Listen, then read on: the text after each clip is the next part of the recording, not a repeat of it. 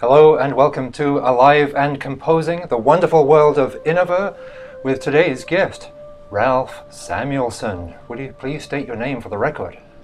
Yes, good afternoon. I am Ralph Samuelson. And we like to ask composers and performers in this case what kind of household pets they have. Do you have any cats, dogs, or interesting animals, and what are their names? Oh, man. Well, we always had dogs, and we had three dogs, and then we had two dogs, and then we had one dog. And now, for the last 10 months, we have no dogs for the first time in, I think, 40 years. So, So you're entering a, a stage of dog attrition. Uh, dog attrition. It was a long stage of dog attrition. Did they have interesting names that reflect your personality and history? I don't know. The the last three were named Jasper, Clementine, and Panda. But Panda was the nickname for pandemonium. Okay, so as far as I can tell so far, nothing to do with shakuhachi No, or the fact that we're sitting here in the Asian Cultural Council. no, nothing. Okay, what was your first sound memory? Oh, what a beautiful question. Oh my goodness. So interesting. I never even thought of that. Uh, my first sound memory must have been my mother's voice, but um, can't think of a particular moment.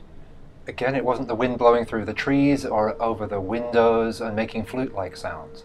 It wasn't. Oh. And, and my first musical instrument sound that I remember was the accordion. And that actually was my first instrument that I learned because I heard this and a couple of years later I said, oh, I, I, it just stuck with me and I wanted to play the accordion. And w- why did you stop playing the accordion? So I started playing the accordion when I was five years old. I heard the accordion maybe when I was three, and I remember it because somebody in the neighborhood was was playing it. And then around the time that I was five, the people across the street were having a yard sale, and out on their lawn was this accordion. And I recognized it at the, as this instrument I'd heard, and I just sat down on their lawn and played around with it and took it home. And my father said, Oh, do you want to take accordion lessons? I said, Sure. So I did that for about six years. Um, but in school, uh, at that time, I grew up in a town called Pearl River in Rockland County, north of New York City. So in fourth grade, like in many American schools, you can take an instrument and join the band and so on, but there was no accordion. So I took up the clarinet and did the clarinet and the accordion together for a couple of years. And then the band teacher said we need a saxophone player. So I started to play the saxophone, and somewhere along the way, I just stopped the accordion. So you went from a misfit to someone who could actually work with school bands yeah, right. to the shakuhachi that we're going to get to, I'm, I'm sure, in just to a minute. Yeah, yeah. Uh, do you remember any kind of uh, significant moments during your youth there that really blew you away in terms of uh, an art experience or a music experience or something that said there's going to be uh, a creative part to your life? So um, I liked playing music the whole time, from the accordion time. You know, uh, I loved playing "Lady of Spain" with Bellow Shake, and um, and then at the school they had like a jazz band in junior high school, and I really got into that. But then when I was about 15 or 16, we moved to uh, New York City, to Queens, and I just really started listening to uh, jazz and going into the city to hear live performances. And for some strange reason that I can never understand, for my 16th birthday, my parents gave me two records, and my parents have no musical interest really or sophistication, but they gave me two records.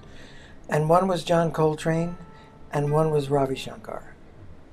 And I don't know where that came from, but those records stuck with me for, for so long. Um, Listening to Ravi Shankar's album, was that your first experience of Asian music or non Western music? absolutely. Totally. And I had no idea what it was, Mhm. but it sounded amazing. And that was my first experience. And how did you follow that up? Um, at the time, not so much. That was just a record that I listened to a lot. Uh, but um, I was mostly listening to jazz saxophonists and um, you know had a group in high school, then on into college and played in different uh, jazz and rock and big bands, and so I was always playing music. Um, but what happened uh, after college was I went out to San Francisco uh, to go to graduate school. But when I got there, I decided not to go to graduate school. And it was 1968. It was a great time to be in San Francisco. There was a lot of music, and I was just, uh, oh, I had started playing the flute when I was in college. And so by this point, I was passionate about the flute. I was playing the flute everywhere. And somebody handed me a recording of South Indian Carnatic music with this flutist called T. Viswanathan. And I listened to this recording and I just thought it was the most extraordinary flute music I'd ever heard. And I read on the back of the album that this T. Viswanathan and all of these other musicians from India were teaching at a university in Connecticut called Wesleyan University, which had a program that they called World Music. And I didn't know anything about it, so um, went to the library, read up on it. There was, of course, no other way to find out about those things. And I decided that's where I'd like to go. And um, so I applied to graduate school there, and I went the following uh, September. My intention was I wanted to study with this T. Viswanathan. And, but when I got there, he was gone back to India. Uh, he came back to Wesleyan later, but he was gone in India. So I started to study ethnomusicology and world music, and I wanted to play a flute of some kind. And there was a flute teacher from Japan uh, teaching shakuhachi there. So that's where I met the shakuhachi. That just kind of like became a new uh, road for me. Now, Wesleyan's also notorious for having interesting composers of new music Yes. uh, as well as world music, and they all rub together in Right. interesting ways. Did, did you experience that there too, and uh, has that stayed with you? Yes, absolutely. I think one of the, the the amazing things about that music department, I think it's still true today, um, but but in the late '60s, early '70s, the field of ethnomusicology had grown in America as an academic discipline. But Wesleyan always called it world music, and always called their department a music department, and never made a distinction between people teaching composition, theory, uh, visiting artists from Asia or Africa teaching performance, or the ethnomusicologists who were on, uh, on the faculty as scholars of that discipline. It was a very, very well integrated understanding of music, and I think that's what makes it uh, a really unique and special program. And what was your career path at that time? You said, I'm going to be a professional shakuhachi player on the streets of New York. Oh yeah. Or, so, yeah, I think uh, my career path was kind of understood to be towards academia, so that I would. Uh, I got a master's degree. I was in a PhD program. I would get a PhD. I would uh, teach in a university. Um, I went to Japan um, in 1971 after the master's degree to study um, music in Japan and to study the shakuhachi with the best uh, teachers. And I stayed there for two years. And then I came back to Wesleyan to do two years of PhD work. And then I went back to Japan in 75 for two more years of, of study. And um, I was kind of working on a dissertation. Uh, was studying the shakuhachi. I was learning about many aspects of Japanese music. I was traveling in Asia a bit. Um, but I, I had a child that was born. Uh, my daughter was born in Japan. And I had this grant money and little research jobs and so on, and all this money ran out. I wasn't quite sure what to do yet.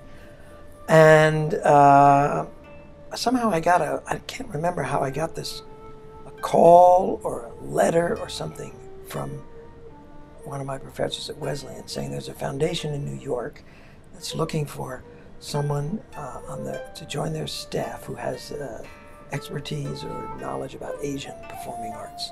You might be interested in this. So somehow I contacted these people and uh, came to New York, and I ended up taking a job in this foundation that was called the JDR Third Fund, the John D. Rockefeller Third Fund. And later the name was changed to the Asian Cultural Council. And my idea was I would work there a couple of years and I'd finish my PhD and, and I'd go into academia. So I moved to New York with my wife and daughter, and we kind of settled in. And I started doing this job, and I'd go home at the end of the day and do family stuff, and then be like, evening, okay, I'm going to write my dissertation. But no, I want to practice the shakuhachi. So I practiced the shakuhachi for, I thought oh, I'll practice an hour and then I'll do some research or writing. But no, I just practiced two hours, three hours, till midnight.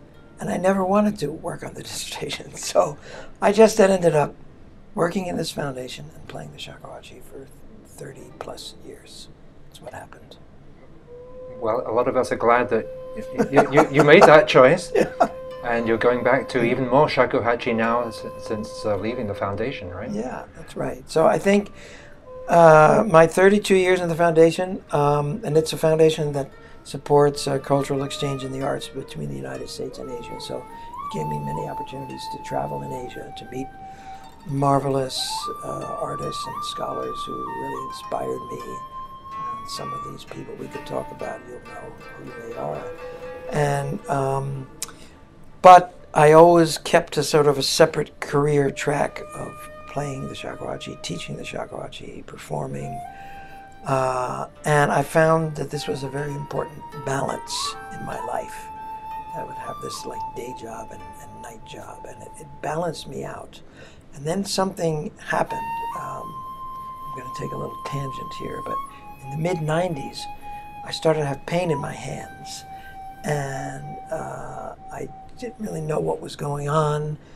And at that time, you know, computers had become a big part of our life. So I was in the office all day doing this, and I was home all night doing this.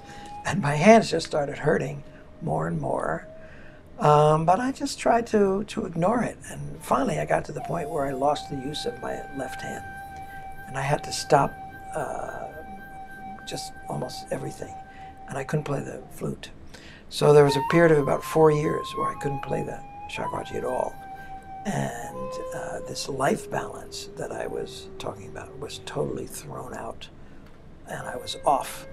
I just felt off balance. Um, and I got kind of depressed, and it was a struggle, and I didn't know where this was going.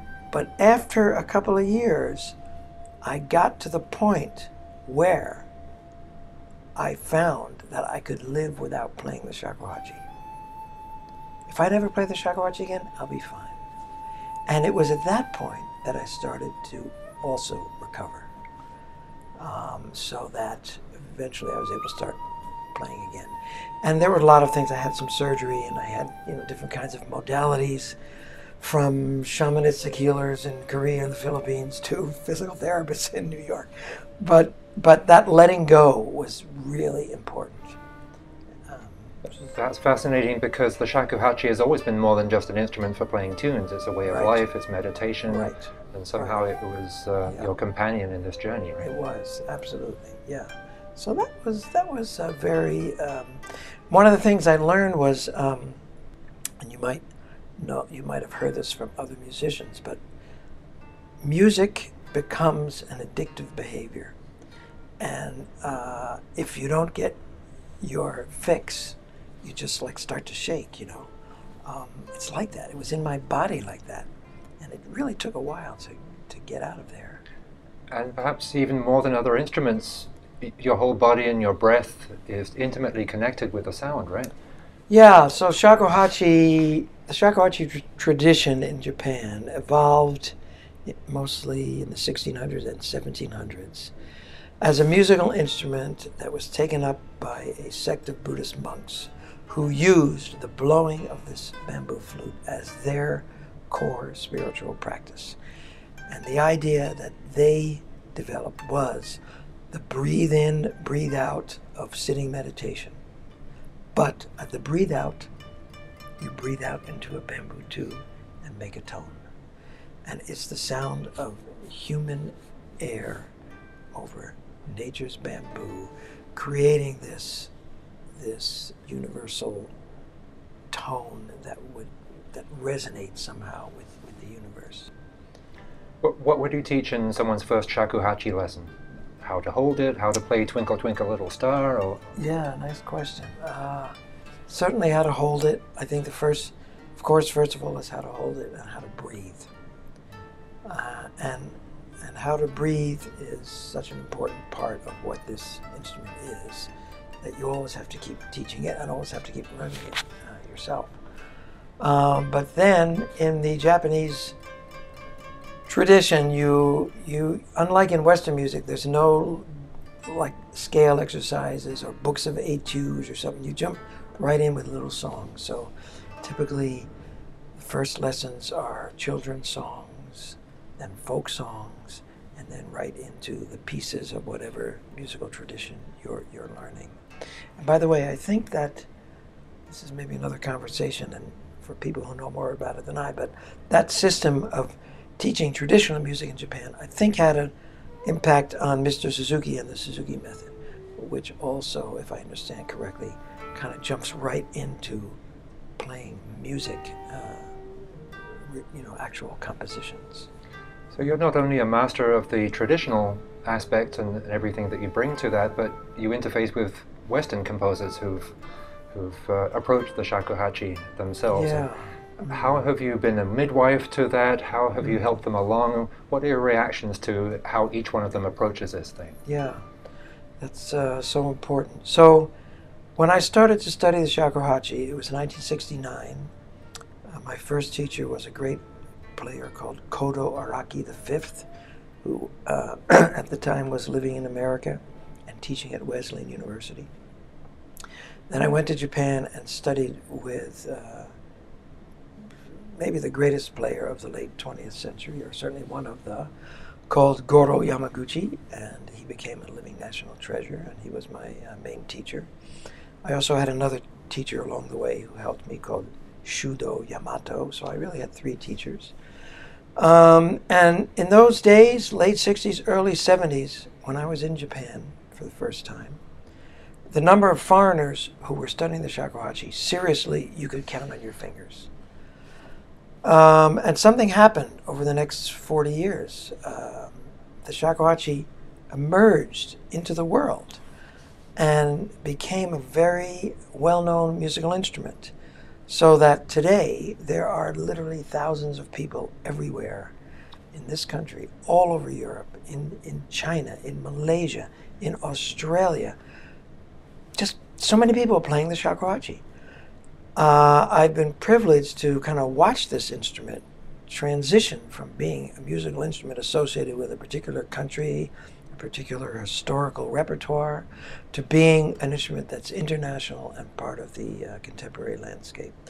I think composers outside of Japan became interested in the shakuhachi because of all its kind of um, extra musical qualities, we might say, or things that uh, that American woodwind players refer to as extended techniques, um, and the whole world of music. It's not so much about melody and rhythm as it is about tone color and breath, and and these elements of tone color and kind of breath rhythm are things that composers find very intriguing, I, I believe, and also and you can tell me more about this. I think also kind of meet somewhere with what happened with technology in music. Uh, so that technology enables us to go into a different sound world, and some musical instruments of other cultures lead us kind of to the same place or a similar place. So if we use that as an example, your your brand new Innova album, you've got a piece by Henry Cowell and maybe another by you know, you, you, you name your composer, Yes. maybe Richard Teitelbaum, Richard for instance. Teitelbaum, Elizabeth Brown, Bun-Ching Lam, yeah. So let's to start with Henry Cowell. I think you know the first wave of shakuhachi in America was immigrants from Japan in the late 19th century, and among this wave of immigration, there were some musicians, um, and there were some shakuhachi players in there. And Henry Cowell met one of these players uh, named uh, Kitaro Tamada. And they met in the 1920s when Cowell was in California, where he was originally from. And Cowell actually started taking lessons with him. Um, and he studied with him, I think, for quite a few years. And they developed a very close relationship. Uh, You might know there was a point at which Cowell was actually in San Quentin prison. I think he was there for four years.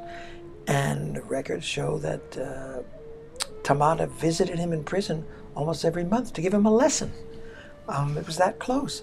And later, Tamada himself was in a Japanese internment camp. Cowell didn't visit him, but he sent him letters, and there's records of those letters. So they had a bond, but in 1946, Cowell wrote a beautiful little piece for his teacher, um, and it's called The Universal Flute. And it's almost certainly the first American or probably the first non-Japanese composition for shakuhachi. And so that's really the beginning of composers in this country meeting the shakuhachi. Later, from the 60s on, there were several uh, university programs like Wesleyan, of course, University of Washington, UCLA, that had shakuhachi teachers from Japan teaching. So quite a few American students, again, composers among them, uh, began to be exposed to the instrument. And then you had some recordings that came on the scene. Uh, you mentioned the Wadatsumi Do recording, which was called The Mysterious Sounds of the Bamboo Flute on the Everest label. Came out sometime in the 70s, I think, and a lot of people listen to that. But before that, in 1967, the very first shakuhachi recording widely available here was Goro Yamaguchi's uh, Bell Ringing in the Empty Sky on Nonesuch. And a track from that ended up on the Voyager 2 spacecraft that is still circling around somewhere. Um, so, composers started to hear this music, and some of them started to study it or at least, um, you know, try to learn about it deeply. And I think what we found when we look at the repertoire of American compositions is those composers who really took the time to learn the instrument or learn about the instrument are the ones who've been most successful in making really meaningful pieces. We're eager to hear more from you and the shakuhachi, but in the meantime, thanks so much for telling us your story, Ralph. Well, thanks for uh, letting me tell it.